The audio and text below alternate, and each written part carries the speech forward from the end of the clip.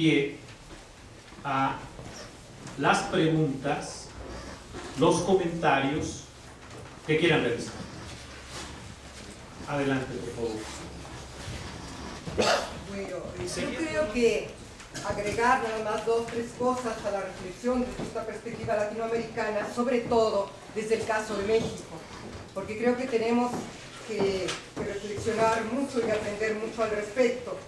Lo primero que yo diría es que efectivamente eh, después el nuevo gobierno priista, que viene toda la continuación del poder neoliberal, vuelve tratando de dar esperanza y de que la crisis no existe. Eso se la pasaban diciendo igual aquí Calderón hasta que llegamos y nos ahogamos, entonces existió la crisis. Pero de pronto, desde luego, se piensa que eh, puede venir de alguna manera, eh, nos se la pasan diciendo, México va a crecer más que, que Brasil ahora. Ya pasaron ocho años, seis años en donde México ah, desempeñó, tuvo uno de los peores desempeños de América Latina.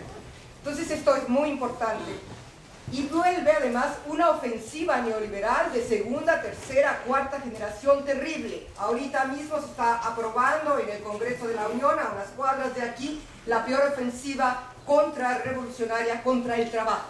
Y es terrible. Y la resistencia laboral, popular, es muy insuficiente. Y ahí frente a eso estamos. También está la amenaza de profundizar la entrega, el proceso de desnacionalización de petróleos mexicanos. También, por otro lado, porque saben que si existe la crisis, están otra vez renegociando el préstamo de 70 mil millones de dólares con el Fondo Monetario Internacional. La deuda mexicana, sí, muy manejable, 34-40% del PIB, y sabemos que en cualquier momento se puede desbaratar. Tres cosas más. Uno, la desarticulación productiva que ha provocado el TLC y el proyecto neoliberal en México de los últimos 20 años ha llevado a que México, país petrolero, importe gasolina, a que México, cuna del maíz, importe maíz, arroz, frijol en, en grados muy alarmantes. Entonces esto es terrible. Pero yo quisiera por último nada más, entonces hay dos cosas más, sobre todo para una reflexión de Jairo o de los compañeros en general del caso mexicano, que es la acumulación mafiosa que en este país se ha profundizado de una manera brutal, y por el otro la estrategia militarista norteamericana, imperialista, asumida por los gobiernos eh, de la derecha, pero que desde luego le dará continuidad el próximo gobierno priista, que eh, está planteando una reestructuración del poder muy importante y muy grave para, para una posible alternativa, que desde luego en el caso de México existe mucha resistencia desarticulada, pero múltiple, y que ahí está, y es un desafío para que avancemos en su unidad y consolidación en otra perspectiva. Gracias. Gracias a usted, doctora Josefina. Josefina. Adelante. Sí. Eh, bueno, yo tengo dos preguntas, eh, una para eh, Antonio Elías, si usted considera que habría diferencia entre quiénes son eh, los inversores extranjeros, qué empresas, qué países, digamos, si, son capitales chinos o, eh, europeos o eh, estadounidenses, ¿no? y en este sentido, si tenemos que mirar el capital transnacional o extranjero como algo homogéneo o si habría diferencia. Y para Jairo Estrada, eh, si nos podría eh, exponer como de manera eh, concreta cuáles son las diferencias entre el despojo financiarizado y el despojo por violencia que usted expone, o sea, cómo lo podemos observar, cuáles son los elementos que lo componen y qué retos metodológicos plantea para las ciencias sociales esta reorganización espacial y sectorial del capital. Bueno, su, nombre, por favor.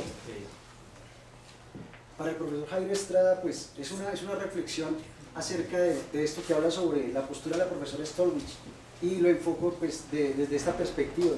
A mí me parece que los años, los años 90 con la caída del bloque soviético dieron un golpe muy fuerte a las expectativas. Ya ni siquiera se habla de un comunismo, sino de un nuevo socialismo. O sea, el enfoque es hacia, hacia lo que se consideraba un estado de transición, hacia un estado superior y eso ya nos da una señal de, cómo se comportan. Pero también hay, otra realidad ahí y, y, me parece es cómo, cómo, se enfocaba dentro del bloque socialista la ley del valor y, y el intercambio de mercancías. Es una inquietud que tengo y lo, lo he comentado en varias conferencias, es, es acerca de eso cuáles son las, nuevas equivalencias que se quieren hacer para en verdad eh, romper y hacer una ruptura con el consumo. Porque es que en tanto se mantenga un, culto hacia la mercancía, en tanto estemos socializando el consumo, estamos también problematizando consumo hasta dónde, consumo de unos recursos finitos, eh, hasta, eh, hasta, hasta qué punto. Entonces uno dice, bueno, ¿cuál es el otro mundo posible cuando no se están haciendo o en qué medida, por ejemplo, el ALBA está realizando unos equivalentes diferentes? Y lo hago muy concreto para, eh, pues para que no haya, no, no haya como, como, ambigüedad. Aunque suene un poco grotesco, en estos intercambios Cuba-Venezuela eh, se, se puede pensar en equivalentes, me decían ayer que era de valores de uso. Entonces, ¿cuántos barriles de petróleo vale un médico cubano eh, una semana, por ponerlo en, forma, en una forma muy grotesca, ¿sí? pero es que es importante ver cuál es la, la, la, calidad y la carne de, estas, de, estas nuevas, de estos nuevos diferenciales, en tanto, si no se aparta la mercancía, pienso que se está haciendo la reproducción del modelo y se hace la reproducción también de los intentos de la élite que, que usted menciona. Compañera. Sí. Bueno, eh, en primer lugar, eh, las felicitaciones a los compañeros del grupo al cual pertenezco a los tres brillantes. Ahora lo que yo siento que falta, y por cierto debe faltar porque en el caso de, el caso de Chile, al país al cual pertenezco, eh, Chile eh, en su momento, en los años 70 hasta el 73, fuimos el primer gobierno socialista que llegamos al gobierno por elecciones populares. Todos sabemos lo que nos pasó, lo que nos sucedió en el año 73 con el golpe de Estado. Ahora bien, en el 73, como, eh, como lo señala un gran eh, investigador de derecha en Chile, del Centro de Estudios Públicos, señala que violentamente el, proceso económico en Chile da viraje brutal. Y da viraje y que el cambio del modelo económico se impone por la fuerza de las armas. En el año 73 el neoliberalismo en Chile se impone por la fuerza de las armas y es el modelo que, se propaga en el mundo, en América Latina. Y además este economista, este cientista social dice, bueno, el pecado original del modelo económico neoliberal en Chile que se impuso por la fuerza de las armas. Pero se va a, sacralizar, se va a eh, obtener el perdón de la humanidad cuando quienes lo lleven adelante, digamos, hayan sido quienes eh, estaban en contra de este y lo van a sacralizar y van a trabajar para los empresarios. En efecto, en Chile nosotros podemos decir que tuvimos un gobierno democrático revolucionario con el presidente Salvador Allende. Tuvimos un gobierno de dictadura que todos lo conocen como Pinochet. A partir del 73 en adelante yo no diría un gobierno democrático, no diría un gobierno para los trabajadores, diría un gobierno post-dictadura, porque el gobierno de la concertación, del cual todos tuvimos grandes esperanzas y el mundo entero tuvo esperanzas, fue un gobierno que traicionó los más altos intereses de los trabajadores y de los estudiantes. Es un gobierno que eh, eh, traicionó al movimiento, al movimiento estudiantil del 2011 de los estudiantes pingüinos, traicionó. La presidenta Bachelet en esos momentos traicionó al movimiento estudiantil, lo reprimió. Los gobiernos de la concertación llevaron a cabo y sacralizaron los eh, eh, cambios que habían hecho la dictadura y que no se llevaron adelante, como fue la desnacionalización de nuestro principal recurso, el cobre, que se entregó en forma gratuita a través de una concesión plena que organizaron eh, la, ultraderecha y se le entrega y se le entregó y ahora el 70% de los recursos del cobre están en manos de las transnacionales a las cuales se les ha entregado este recurso con costo cero en la misma calidad de que fuera propiedad privada. Ahora, estos recursos que están saliendo a raudales al exterior, cuando eh, Salvador Allende nacionalizó el cobre en 1970, habló del sueldo de Chile como el cobre, con los recursos que se generaban para mejorar la calidad de los trabajadores chilenos, de los estudiantes chilenos, para el pueblo chileno. En estos momentos estamos siendo saqueados por las transnacionales que están llevando nuestros recursos al resto del mundo, a los países capitalistas desarrollados. Ahora yo traía una, ponencia que voy a dejar eh, al grupo, que es neoliberalismo, el caso de Chile y el movimiento estudiantil del 2011 y la economía crítica.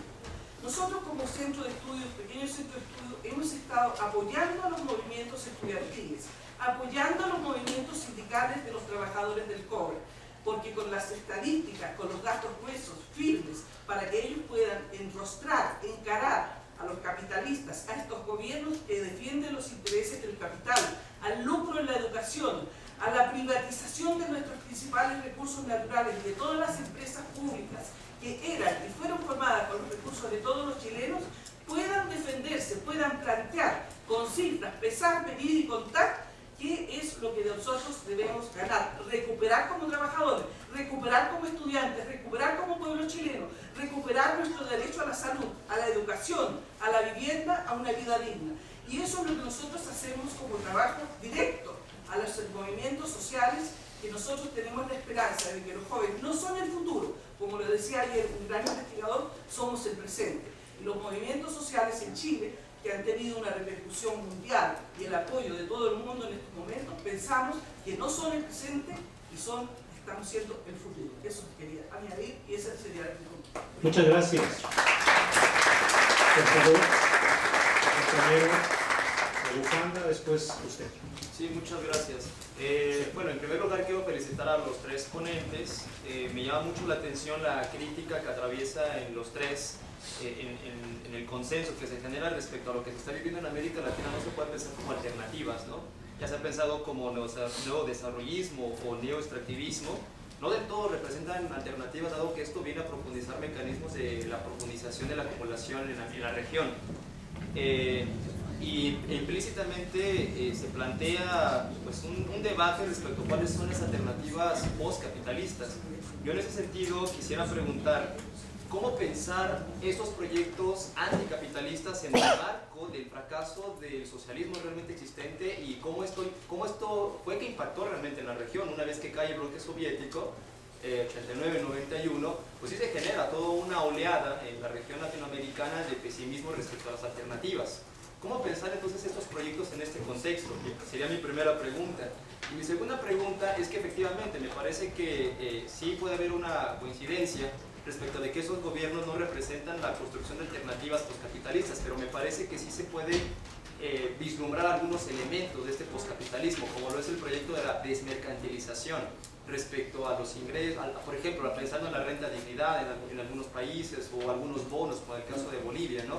que, permite la reproducción de, las familias o, de las personas sin necesariamente pasar por un proceso de mercantilización de la fuerza de trabajo.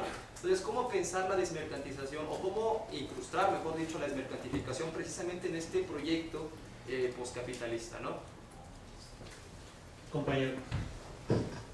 Sí, este, yo también quiero felicitar a los tres ponentes porque pues, me ha arrojado mucha claridad acerca de toda la crisis que se vive a nivel mundial, efectivamente no puede ser desligada de la región, de ninguna región. Eh, mi duda va sobre el sujeto social. Eh, por ejemplo, en México, pues bueno, evidentemente que una vez que a través de las dictaduras militares, eh, una vez que se derrota el proletariado, o que parece que se derrotó al proletariado, que se derrumba la Unión Soviética, que se desencanta el socialismo en, el imaginativo del, pueblo, que es, el principal objetivo del, sistema, pero que el sistema sigue reproduciéndose, sigue caminando normal, es decir, la clase burguesa transnacional sigue incólumes. ¿eh? Parece que lo único que se dividió fue el enemigo, es el sujeto social, el enemigo eh, por ejemplo, en México tuvimos a partir de la emergencia del STLN que a este sujeto social antagónico al capitalismo lo suple el indígena. El, indígena, este, eh, aparentemente reivindicando este, su inclusión en el desarrollo desde hace 500 años, pero a mí me parecería que aquí hay un error de apreciación. No sería tanto que la resistencia indígena viene por el sentido de que Ahora, esta nueva crisis del sistema capitalista está obligando a proletarizar a los pueblos indígenas de nuestra América. ¿No será este el problema en realidad? Eh, porque el indígena no ha sido integrado completamente este, como proletario al proceso de, producción y reproducción del capital. yo más bien pienso que a lo mejor este, se está tratando ahora de incorporar al indígena, sacarlo de su, eh, formas, sus formas de trabajo comunitarias, tradicionales, feudales en algunos casos, artesanales, etcétera, para proletarizarlo, porque finalmente el capital es una relación social y el capital es una relación de extracción de plusvalía y necesita para extraer plusvalía de un sujeto proletarizado. Gracias, compañero. Eh, en diversas sesiones de estos temas ha aparecido, una, ha aparecido una especie de... Se habla un poco del paradigma de la economía mundial versus a la teoría de los sistemas mundiales. A mí me gustaría a los que quisieran responderme algunas dudas. Samir Amin no es de la teoría de los sistemas mundiales, pero por ejemplo tiene la tesis de que el capitalismo es senil, que ha venido acumulando una serie de contradicciones y que no necesariamente está asegurado el socialismo, sino puede haber una larga, larga recesión y una catástrofe económica, un, como diríamos, dicen algunos, un neofeudalismo, una fragmentación como lo fue eh, este, este periodo. Quisiera saber qué piensan ustedes de esa tesis del capitalismo senil. Eh, las otras tesis que vienen de la geopolítica, de que se está ante la decadencia estadounidense. Si ustedes piensan que hay decadencia estadounidense en términos de Arrighi, de etcétera, ¿no? Si, se, si, si nos estamos moviendo a un mundo multipolar, si es cierta esta idea de que hay una hegemonía con, eh, ligada a los ciclos de Kondratiev, fases A, fases B de decadencia, etcétera, etcétera. Y si ustedes han trabajado un poco escenarios de futuro, porque ellos se han aventurado a decir, bueno, ¿qué va a pasar de aquí a 2020, 2050? Parecería en algún momento por alguna de sus intervenciones que si no hay una respuesta popular el capitalismo pudiera ser eterno, que no está sumando contradicciones o eh, insalvables. Me gustaría que ustedes me dijeran o nos dijeran qué piensan de estas tesis, ¿no? Joven. Sí.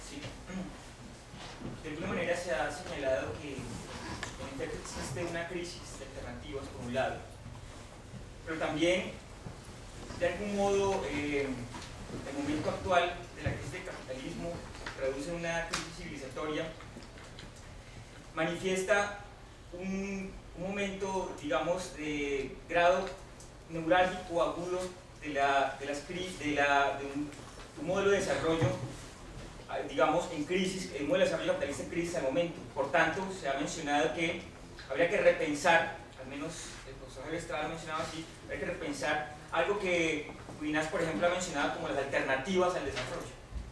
Ya no solamente desarrollo alternativo, sino alternativas al desarrollo. En fin, se hace todo un diagnóstico respecto, en efecto, cómo esa encrucijada, cómo esa disyuntiva, no solamente del capitalismo, sino de las experiencias propias en América Latina, hablo de neodesarrollismo, extractivismo y demás, nos deja un momento en el que podemos hacer serios enjuiciamientos a los modos como los regímenes políticos o los gobiernos en la actualidad, los diferentes gobiernos en América Latina o de Sudamérica han actuado para tratar de llevar o soportar el proceso social. Sin embargo, me hago una pregunta, ¿será que las crisis de las alternativas solo proceden de las autoridades gubernamentales, de los equipos gubernamentales, de aquellos que están comandando desde los gobiernos los procesos? ¿O será que las crisis, la crisis de las alternativas también es extensiva, asimismo también a los sectores sociales? Es decir, no hablamos solamente de una crisis de las posturas de los gobiernos, sino de una crisis alternativa también incluso en el seno mismo de, los, de las organizaciones políticas y del sujeto político, me pregunto. Pero por otro lado se menciona que habría que acudir también a las experiencias, algunas experiencias de tipo comunitario, de tipo territorial, incluso de las comunidades originarias, las cuales podrían eh, seguramente enseñarnos mucho de cómo eh, apelar a otros modos de organización social, otros modos de organización económica. Mi pregunta es, bueno, eh, ¿cuáles de las experiencias nosotros podemos retomar, si conocen ustedes algunas, algunas experiencias podemos retomar para que nos sirvan entonces un poco de, a manera de, guía o de, de una suerte de emulación, intentar implementar ya los marcos de los estados nacionales. Eso sería. Bien, compañero. Sí, hola. Mi nombre es León, vengo de la Universidad Veracruzana, soy estudiante de ella.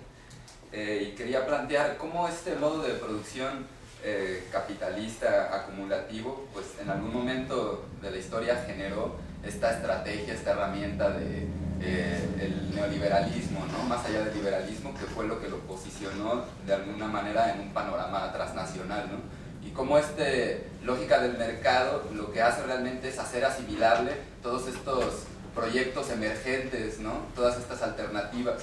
Entonces, pues cualquier alternativa emergente que en algún momento surge como un proyecto político o un proyecto cultural civilizatorio es asimilado por esta lógica del mercado, reformulado, mercantilizado y puesto al servicio de este modo de producción. Entonces, ¿cómo, ¿cómo enfrentar eso y cómo pensar a lo mejor una institucionalidad tal vez mutable, ¿no? o cómo, cómo pensar esta concepción de, de la institucionalidad o la concreción de estos proyectos para pues que sean perdurables ¿no? dentro de esta misma lógica. La pregunta es muy breve. Eh, vamos a ver, para los, para los tres ponentes, si de verdad hubo tres procesos emancipatorios, emancipatorios perdón, fracasados, bueno, fracasados no, reprimidos por la fuerza de las armas, obviamente, a mediados de los, de los años 70 del siglo XIX, 1973, 1930 Claro, ahora tenemos la capacidad armamentística mayor que ha habido nunca. Y nuestra capacidad de organización es cada vez peor, o bueno, no es peor, pero eh, digamos es igual. Entonces, claro, la pregunta es si realmente no tenemos motivos para ser realmente pesimistas. ¿Alguien más? Berenice, por favor. Para Julio, en términos de alternativas. Diste varios ejemplos y creo que el, problema en los gobiernos desarrollistas es los instrumentos de política económica que utilizan son los de la ortodoxia. Y ahí hay que hacer mucho en este ámbito de construir eh, nuevas eh, formas de crear eh, nuevos procesos. Y creo que esa es una tarea fundamental, al menos aquí y en el grupo me gustaría tu opinión. ¿Alguien desea hacer un cuestionamiento más? Por quisiera preguntar acerca de, en, este, en esta cuestión de la crisis, ¿cuál es la vigencia, por ejemplo, de la teoría de la dependencia? En el caso de que precisamente, a pesar de que la crisis, digamos, tiene, tiene, tiene poder sobre América Latina, el hecho de salvar la simple crisis no, no, no explica precisamente la, salvar precisamente una dependencia inexorable que no es salvable en un sentido pues, precisamente desarrollista, desarrollista gradual, de que con el aumento de la riqueza podemos llegar al desarrollo, ¿no? sino que inevitablemente dentro del sistema mundial pues, se requiere que el desarrollo de los países occidentales, por ejemplo, bueno, en Europa y, Norteamérica, requiere el inexorable atraso de, por ejemplo, toda la periferia, ¿no? América Latina, África, Asia, y de que en, ese caso, ¿qué, ¿qué, solución se puede plantear hacia, hacia, hacia una alternativa local no se, precisamente no se puede extender a, la contradicción que hay precisamente a este nivel mundial de la, de la economía. ¿Alguna persona más que quiera hacer algún cuestionamiento, algún comentario para nuestras tres genialidades? Si no, daría yo